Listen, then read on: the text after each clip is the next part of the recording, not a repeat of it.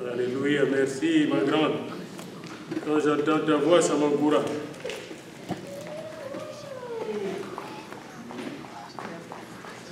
Néhémie 8, verset 10. Alléluia.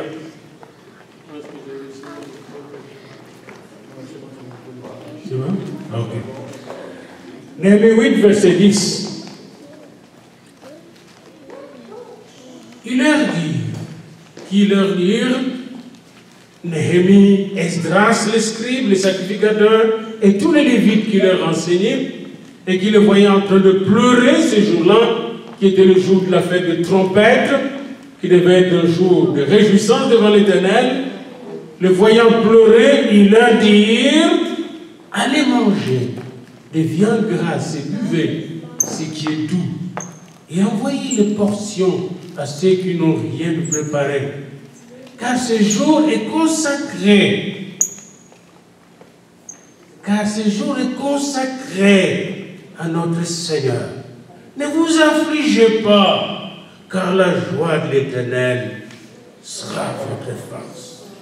Ne vous affligez pas, car la joie de l'Éternel sera votre force. Prions le Seigneur. Éternel notre Dieu, ta parole est puissante. Ta parole est l'épée de l'Esprit qui nous aide à tailler l'ennemi, mais aussi, au Seigneur, ta parole est une lampe à nos pieds et une lumière sur notre sentier.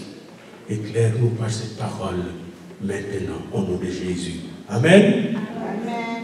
Mais bien aimé, la joie, c'est le thème d'aujourd'hui, la joie du Seigneur. La joie, c'est quoi d'abord la joie? Et puis nous allons voir les trois points de vue. C'est quoi la joie? La joie, c'est la satisfaction qu'on éprouve, qu'on exprime face à une bonne chose, une bonne personne, une bonne situation, n'est-ce pas, qui vient nous combler. Prenons que tu reçois une promotion dans ton entreprise, tu montes des grades, ça te donne la joie. Et retourne à la maison et dit, hé madame, mon monsieur, mon mari, je viens d'avoir une promotion. Ou on te donne une gratification, on double ton salaire. Ça donne la joie. Ou alors quelqu'un te fait un cadeau. Ça te procure la joie, même des petites cartes. Le jour de la fête des parents, de père, on m'a envoyé des petites cartes de mes enfants. Ça, ça donnait beaucoup de joie, beaucoup de joie. C'est une satisfaction profonde qu'on a quand on est en face de quelque chose qui nous comble, qui nous fait du bien. Mais si on est en face de quelque chose qui nous fait du mal, qu'est-ce qu'on a? La tristesse, la déception, la frustration. Dans nos maisons, on a soit de joie, des moments de joie, soit des moments de tristesse. Et un de vos grands philosophes, qui s'appelle René Descartes, à l'époque moderne, il a étudié quatre passions que vous pouvez avoir, quatre passions. La première, il a dit, c'est l'amour. Eh bien, moi, je vous dis que quand il y a l'amour, quelque part dans l'amour, il y a la joie. S'il n'y a pas d'amour, la joie ne sera pas là. Et il a dit, l'amour est le numéro un. Deuxièmement, après l'amour, il vient la haine. Il y a des sentiments de haine. La haine, c'est quoi? Quand tu rejettes quelqu'un. Tu rejettes quelque chose. Quand tu vois, tu entends quelqu'un même quand tu parles, sa voix même te fait mal.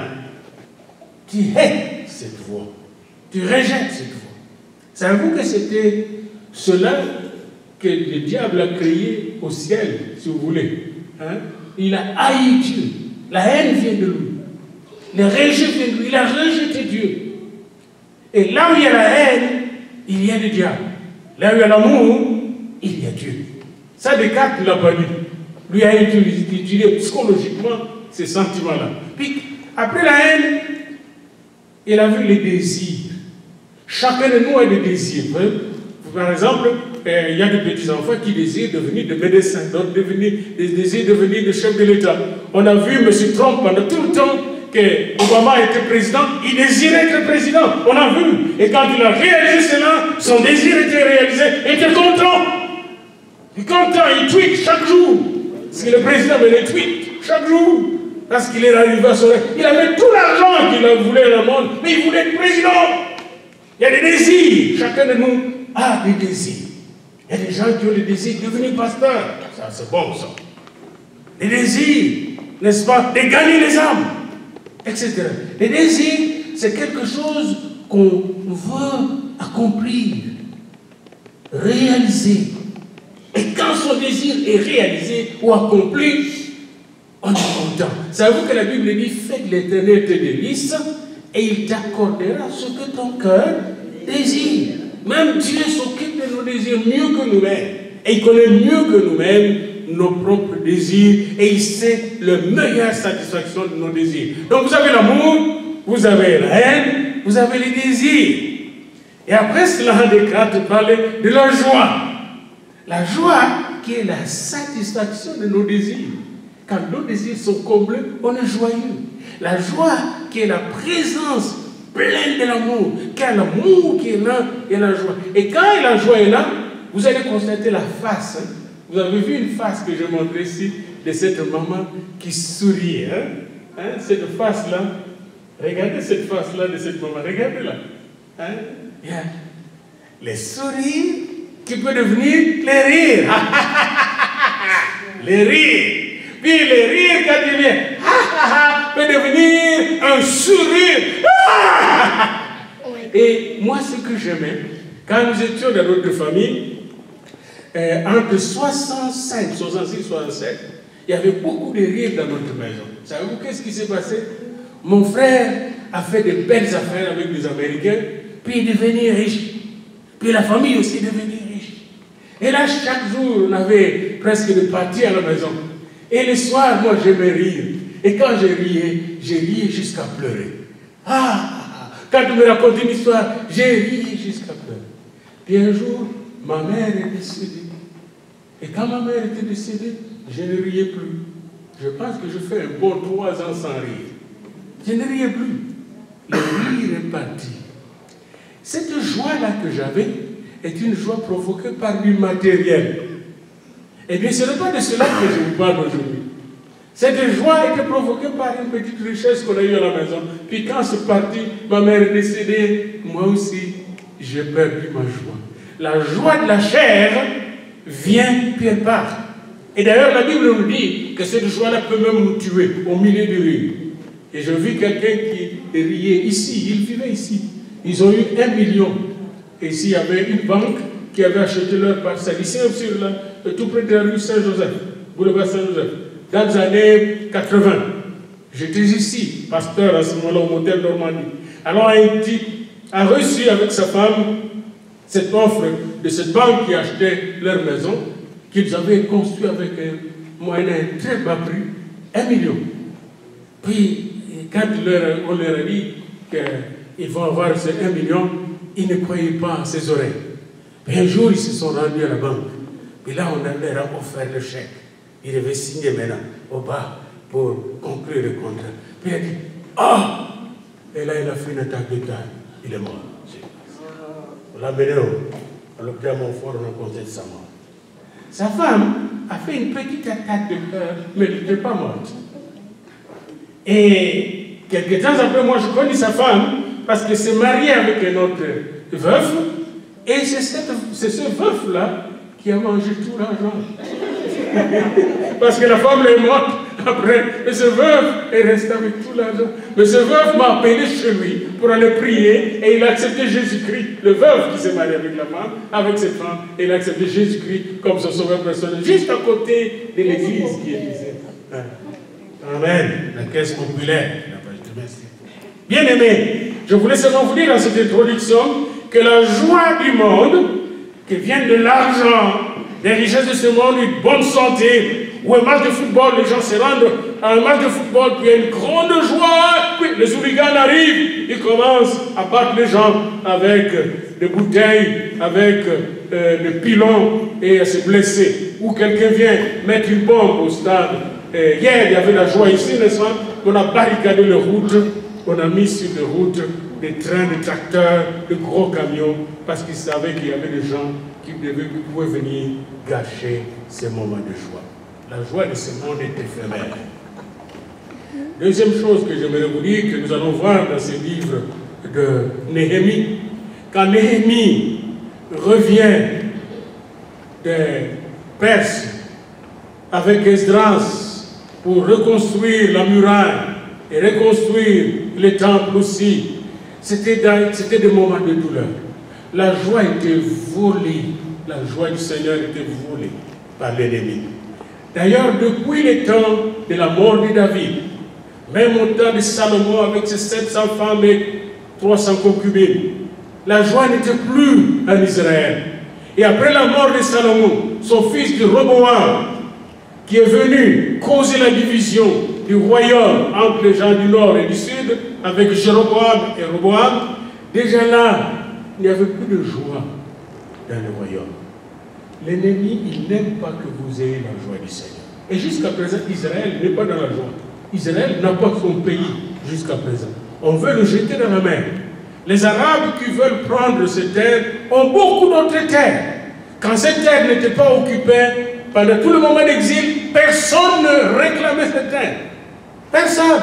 Et on connaît dans l'histoire que cette terre était aux enfants d'Israël depuis longtemps. Mais même nous tous, ici, l'ONU croit que les Palestiniens qu'on a créés, les Palestiniens, parce que c'est une nation qui n'existait pas, que ça leur appartient. Parce que l'ennemi, quand il veut vous voler votre joie, il va créer des mensonges. Il peut vous, vous fabriquer des mensonges et vous allez vous sentir coupable. Et ces jours-là, quand ils ont fini de construire la muraille, ils se sont rendus compte qu'on était au septième mois. Et ça, vous le lisez au chapitre 7 à la fin de Néhémie, puis chapitre 8 au début. Ils étaient au septième mois. Au septième mois, il y a trois fêtes que les Juifs font. La fête des trompettes, on sonne la trompette pendant ce jour-là. Puis tout le monde prie et loue le Seigneur. Parce que pour eux, c'est le jour du jugement, mais en même temps, la résurrection, le jour où les morts vont ressusciter pour aller vers le ciel, vers le ciel, disent. Et nous, nous savons dans la Bible que la dernière trompette, telle que décrite dans la Bible par Jésus et par Paul, sera le jour où nous serons enlevés avec Jésus dans le ciel. Et bien, en ce jour-là, ils se préparent tous pour la grande fête du tabernacle, qu'ils vont célébrer le 15e jour du 7e mois. Eh bien, pendant cette fête, alors qu'on lisait la Torah, parce qu'une fois tous les sept ans, on doit parcourir toute la, toute la Torah, on lisait la Torah, les enfants d'Israël pleuraient. Pourquoi ils pleuraient Quand vous lisez bien le chapitre 8, tout ce qu'ils recevaient comme message, Dieu vous a jugé, vous a condamné parce que vous êtes mauvais, vous êtes pire, vous êtes des pécheurs, vous avez tout fait pour que votre pays soit détruit. C'est votre faute. Bien aimé, il y a beaucoup de chrétiens qui vivent dans la condamnation. C'est pas pour rien que dans Romains 8, 1, Paul a pris soin de dire après avoir démontré que nous sommes pécheurs, enfermés dans le péché, au chapitre 8, et au chapitre 7, disons du chapitre 1 au chapitre, du premier chapitre, au chapitre 7 de Romains, Paul arrive au chapitre 8, après avoir dit au chapitre 7, misérable que je suis, je fais le mal que je ne veux pas faire, et je ne fais pas le bien que je désire, misérable que je suis, qui me délivrera de ce corps de la mort? Paul dit, grâce soit rendue, gloire soit rendue à notre Seigneur Jésus-Christ. Puis il va au chapitre 8, il commence. Il n'y a plus de condamnation pour ceux qui sont en Jésus-Christ. Il n'y a plus de condamnation. Et, et, et Néhémie et savaient que l'Éternel les avait délivrés, les avait pardonnés et leur avait donné la grâce de retourner en Israël. Alors c'est pourquoi Néhémie, avec Esdras, on dit, hé, arrêtez la lecture de la parole parce que les gens ne comprennent pas la parole. Souvent, parfois, on lit la parole, puis les gens cherchent juste la bête noire de la parole. Juste là où on dit euh, attention au péché contre le Saint-Esprit. Tu vas voir la question qu'on va poser. Frère, pasteur, est-ce que j'ai commis le péché contre le Saint-Esprit? Mais il n'y a, pas que le péché contre le Saint-Esprit dans la parole de Dieu. La parole de Dieu est remplie de paroles de joie, d'amour, de liberté et de libération. Le péché contre le Saint-Esprit a juste une petite partie de la parole, une très petite partie. Mais les chrétiens, souvent, ils vont voir cela en premier au lieu de voir la grâce surabondante de Dieu en premier, qui nous protège contre le péché, contre le Saint-Esprit. Bien-aimés dans le Seigneur, la joie n'était pas au rendez-vous ce jour-là. Les gens étaient tristes et commençaient à pleurer. C'est bien dit là dans les livres de Jérémie au chapitre 8. Les gens pleuraient au lieu de se réjouir. Alors, Jérémie, Esdras ont dit, ne vous affligez pas. Dites à votre ami, ne vous affligez pas. Ça, c'est la première partie de notre message. Ne vous affligez pas, comme ne vous faites pas du tort. Ne vous attristez pas pour rien. Autrement vous avez une tristesse fantasmagorique, permettez-moi un peu le terme. Vous fantasmez pour rien votre culpabilité. C'est du fantasme, c'est de l'imagination. Vous vous imaginez coupable, vous vous condamnez vous-même. Ne vous affligez pas. Combien de fois les chrétiens s'affligent pour rien Oh, telle chose que je n'ai pas pu réaliser en 1940, c'était de ma faute. En 1950, c'est encore de ma faute. Mais combien de fois vous aurez votre carnet de faute? Il est temps aujourd'hui de le déchirer au nom de Jésus.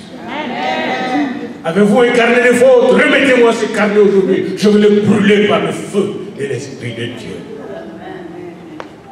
Parce que si vous avez donné votre cœur à Jésus, il a éloigné vos péchés comme l'Occident est éloigné de l'Orient, comme le Nord est éloigné Sud. Alléluia.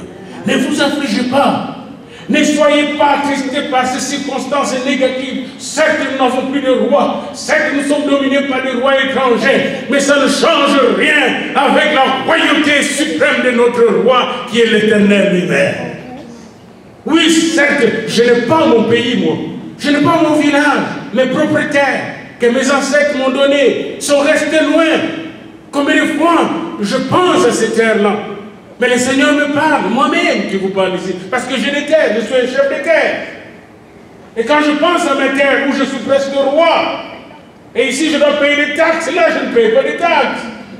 C'est vrai ce que je vous dis, je suis un vrai roi. Quand j'arrive là-bas, il y a des canons, boum, boum, boum, chef d'Afrique est arrivé.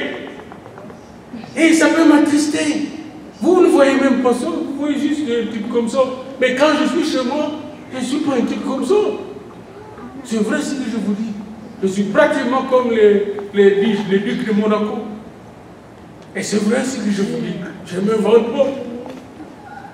Mais tout cela, comme dit Paul, je le regarde comme de la boue. À cause de la grande patrie qui m'attend. La patrie céleste. Alléluia. Je vous donne juste des exemples comme ça. Et les enfants d'Israël étaient comme ça, ils sont encore comme ça. Les terres ne leur appartient plus pour vivre. Là, ils doivent avoir des bombes, ils doivent avoir des canons partout. Et j'ai vu ça, des murs partout. Ils souffrent, les enfants d'Israël, jusqu'à présent. Il faut être dans cette situation-là pour comprendre. Imaginez-vous le jour que les cris, les Inuits vont se fâcher, puis vont commencer à arracher la terre du Canada et dire à tous les Blancs qui sont venus de l'Occident, retournez chez vous. Parce qu'ils ont commencé à condamner là-bas. Vous faites non, ce n'est pas notre fait. Maintenant, comment, comment, comment c'est arrivé? D'abord, on a rejeté Dieu au Canada, qui leur a donné la terre.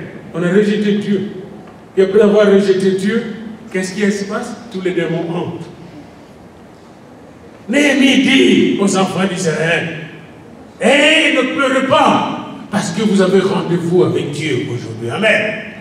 Les enfants d'Israël qui sont venus l'exil étaient affligés. Ils se croyaient abandonnés à eux-mêmes. Même la parole de Dieu ne pouvait le consoler. Et alors les prophètes, les scribes, le gouverneur Néhémie avec tous les Lévites se sont arrêtés. Parfois, il faut arrêter de parler et encourager les uns. Vous encouragez les uns les autres. Amen.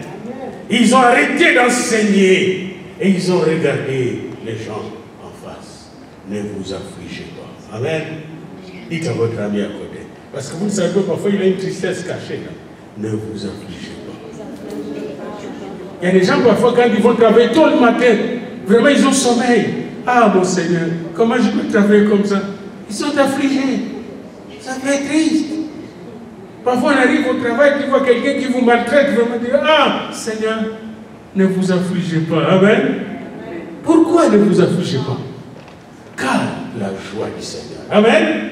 Car la joie du Seigneur. Dites à votre ami, car la joie du Seigneur. Arrêtez-vous juste. Car la joie du Seigneur. Car la joie du Seigneur. La joie qui ne vient pas de l'argent. La joie qui ne vient pas de mon clan. La joie qui ne vient pas de mes terres que j'ai perdues, que j'ai laissées loin. Et qui sont usurpées par des gens qui n'ont aucun pouvoir sur ça. Mais ma joie ne vient pas de là. La vraie joie, la joie éternelle, la joie sûre et durable, la joie qui vient de la satisfaction éternelle de tous mes besoins et de tous mes désirs. Car en fait, quand Dieu entre dans votre vie, il vient satisfaire tous vos désirs. Il vient enlever le péché qui vous corrompait. Il vient vous sanctifier. Il vient vous donner une nouvelle vie, une nouvelle espérance. Il vient vous transformer de gloire en gloire. La joie du Seigneur. Hier encore, j'étais dans mon véhicule quand je prenais ma femme au travail. Puis je lui dis, je ne peux rien regretter par rapport à tout ce que le Seigneur a fait dans ma vie. Il m'a donné des bénédictions. Dieu m'a béni. Amen. Dieu vous a béni, bien-aimé. Vous ne savez pas qu'être là aujourd'hui, ce matin, c'est une bénédiction. Amen. Vous ne savez pas que suivre ces messages au YouTube, c'est une bénédiction. Il y a des gens qui n'ont pas cette occasion, qui n'ont pas cette opportunité. La joie que le Seigneur donne. Le Seigneur a donné à Israël la joie. Le Seigneur a sauvé leur ancêtre Abraham. Il a retiré de la boue de Babylonie pour lui donner à Our de Calais, pour lui donner de l'avenir, de l'espérance. Le Seigneur a sauvé tous les enfants d'Israël avec Joseph en Égypte. Puis le Seigneur a créé tout un pays pour eux. Le Seigneur les a bénis en leur donnant des prophètes, des oracles sont descendus du ciel sur le mont Sinaï. Le Seigneur les a préparés pour recevoir même le Messie qui devait naître à travers la famille de David. La joie du Seigneur. Le Seigneur a pris une femme comme Rahab, qui était païenne et prostituée, l'a transformée en mère du roi et grand-mère, arrière-arrière-grand-mère de Jésus. Le Seigneur a pris Ruth la Moabite. La Moabite qui est née des arrière-arrière-grands-parents que vous connaissez Lot et tout ça, avec ses enfants. Et a fait d'elle aussi la mère, la grand-mère, l'arrière-arrière-grand-mère, et de David et de Jésus-Christ. La joie du Seigneur. La joie du Seigneur est donnée au monde entier. Savez-vous? Mais le monde ne sait pas ça. Vous recevez cette joie quand vous êtes sauvé. Amen. Vous recevez la joie du Seigneur quand vous êtes sauvé. Et Israël était sauvé parce qu'Israël avait reçu les oracles du Seigneur. Et le Seigneur avait rempli Israël de sa présence. Vous savez, quand on a construit le tabernacle, le jour de l'inauguration du tabernacle, et je suis dans Exode 40, le tabernacle était rempli de la gloire de Dieu. Et Israël était conduit dans le désert par la présence de Dieu nuit et jour. La joie du Seigneur, c'est la présence du Seigneur. Et c'est Israël, c'est Dieu plutôt, qui a conduit le roi Cyrus à signer l'ordonnance qui a fait sortir Israël, n'est-ce pas, de l'esclavage pour rentrer au pays et aller préparer le retour de Jésus. Et là, ils venaient de construire les tables, ils avaient reconstruit la muraille, mais ils pleuraient encore, ils se culpabilisaient encore. Combien de fois parfois vous avez réalisé des grandes choses dans votre vie et vous pleurez encore? Et vous culpabilisez encore Je ne sais pas si je vous avais donné l'exemple de mon ami Jean-Guy Trissac. Jean Georges Trissac joue maintenant de nous. Mon ami qui était avec moi au motel Normandie, on était 200, 300 personnes s'engageant, engagées dans le Seigneur, priant ensemble. Puis un jour, un matin vers 8 heures, M. Trissac me téléphone. Pasteur, je vais me suicider. Je dis pourquoi Il dit, je, je, suis fatigué de la vie. Je vais en déception déception. Ça ne va pas. J'ai dit, monsieur Trissac, donne-moi une chance. Est-ce que tu peux m'aider? Il dit, oui, je vais t'aider. Il a changé directement ton je lui donne-moi une chance. Au lieu de le culpabiliser, donne-moi une chance. Est-ce que tu peux m'aider? Il dit, oui. Il dit, oui. Ouvrez un peu votre garde-robe. Il ouvre. Comptez un peu le nombre de vestes que vous avez. Il a compté le nombre de vestes qu'il avait. Un, deux, trois, quatre. Il déjà 12. J'ai dit, arrêtez, vous avez plus de vestes que moi. Comptez le nombre de pantalons que vous avez. Il a compté 1, 2, 3, 4. Il avait déjà dépassé le dit, il y a plus de, pantalons que moi. Combien de nombre de chemises que tu as Et tu peux me dire même le prix de chaque chemise. Il commence à dire le prix. Je dis arrêtez. Je n'ai même pas, jamais acheté une chemise de ce prix-là. Et puis tu vas tout laisser comme ça pour mourir. Tu as acheté ça, tout ça pour te suicider. Comment ça, ok Voyez? Puis laissez-moi te dire une chose. Ça. Ta vie est précieuse devant Dieu. Il ne faut pas tout mettre fin à ta vie. Parce que le Seigneur a un plan merveilleux pour toi. Eh bien, ce monsieur est venu à l'église, comme je lui avais dit ce matin-là, au lieu de rester suicidé à la maison. Et depuis ce jour, il a connu, j'ai entendu son nom. Il doit être animateur dans une radio comme ça. Euh, aujourd'hui, il a une belle vie. Et j'ai béni le Seigneur pour cela. Alléluia. Bien aimé le Seigneur, ne vous affligez pas. Car la joie du Seigneur va devenir votre force. Qu'est-ce qui s'est passé? Quand je parlais à M. du sac, j'étais en train de lui infuser la joie du Seigneur. Hein? De lui perfuser la joie du Seigneur. Savez-vous que nous sommes en perfusion quand nous venons au Seigneur? Le Seigneur nous enlève tout le microbe du monde, puis nous perfuse sa joie et sa grâce. Amen. C'est moi si nous allons voir quatre choses qui viennent du Seigneur. Il y a la joie du Seigneur, il y a la foi en Dieu, il y a l'espérance en la vie éternelle, et puis il y a l'amour de Dieu. Amen. Eh bien, la joie du Seigneur, c'était la force d'Israël. Parce que quand cette joie descend sur Israël, cette joie est comme une huile, une onction de Dieu. Et ça, c'est Ésaïe 61, 3. Une huile, une onction. Cette joie vient avec l'Esprit. C'est l'Esprit Saint qui arrive avec cette joie. Cette joie, c'est Dieu lui-même qui vient dans cette joie, à travers cette joie. C'est une huile du Seigneur. Ce n'est pas une joie fabriquée. J'ai la joie de vous prêcher aujourd'hui ces paroles. Pas parce que je fabrique cette joie, mais je vibre dans une joie qui me dépasse. La joie du Seigneur. La joie de voir des gens sauvés. La joie de voir Christ glorifié. La joie de voir la gloire de Dieu. La joie de voir la main de l'éternel intervenir dans la vie des gens. Les guérir, les sauver, les baptiser du Saint-Esprit de feu. La joie du Seigneur est ma force. Cette joie vient avec l'Esprit Saint. Cette joie vient avec la bénédiction de Dieu, bien-aimé. Cette joie vient avec la vérité qui nous rend libres. Cette joie nous libère de tout ce qui est tristesse, de tout ce qui est insatisfaction. Cette joie-là, regardez dans Acte 16, Paul et Silas se trouvent en prison. Ils ont toutes les raisons pour se plaindre. Ils sont des Romains, on les jette en prison par des Romains. On leur demande même pas leur citoyenneté. Mon lieu de commencer par cette discussion, ils vont arriver là après. Ils commencent par la joie du Seigneur. Amen. Vers minuit, ils disaient, on se regarde comme ça. Non. On va chanter le louange du Seigneur. Et pendant qu'ils chantent le louange du Seigneur, qu'est-ce qui arrive?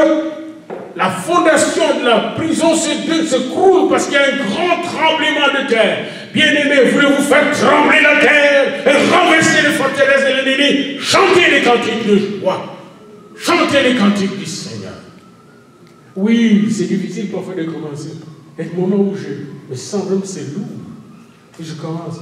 L'éternel est mon berger, je ne manquerai de rien. Oui, l'éternel est mon berger, je ne manquerai de rien. Puis je continue la septième fois, ça devient L'éternel est mon berger, je ne manque de rien. Vous avez vu, le verbe a changé. Je suis passé du futur au présent de l'indicatif. L'éternel mon berger, je ne manque de rien. Il me fait reposer dans le vert pâturage. Et là, je me lève. Et là, la force arrive. Je suis dans la joie, je suis dans la joie, je suis dans la joie. Alléluia. Parce que le Seigneur est en moi, Christ en moi, l'espérance de la gloire. Cette joie, nous devons la cultiver. Et Paul a cultivé cette joie. Et j'aimerais vous donner un exemple. Philippe, au chapitre 8, 5, verset 5 des Actes. Philippe arrive après la persécution, ils sont persécutés à Jérusalem, ils sont dispersés.